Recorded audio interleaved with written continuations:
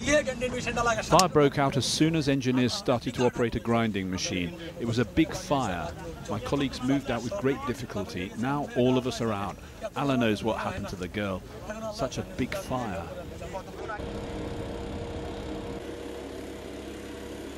From last night, uh, 21:30 hours, we have started this phase of operation and it will continue till the whole operation is over.